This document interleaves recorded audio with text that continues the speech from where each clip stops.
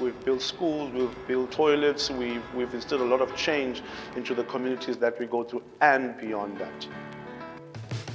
This is everyone's opportunity to, to contribute. At Ciovita, we're incredibly proud to be part of the Nelson Mandela legacy.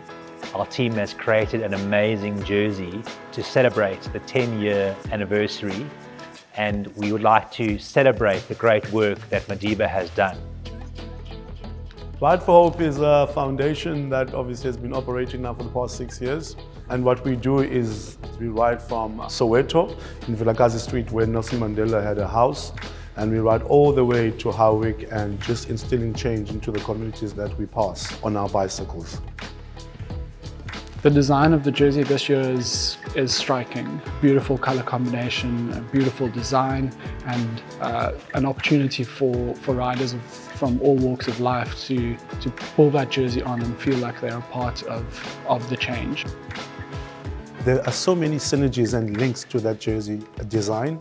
So if, if people are wearing that jersey, they will actually be wearing it with pride and knowing that they are also in support of what the Nelson Mandela Foundation is for. Our hope with this jersey is that people don't just wear it in the month of July. We would love to see people being that change throughout the rest of the year, wherever it is that they may go.